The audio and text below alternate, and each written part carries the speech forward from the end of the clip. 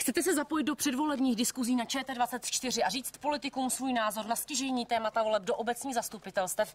Své dotazy můžete posílat prostřednictvím facebookové stránky ČT24 nebo Twitteru, no a nezapomeňte na hashtag volby 2014. Začínáme 3. září v jeho české řepici a své názory můžete začít posílat už teď.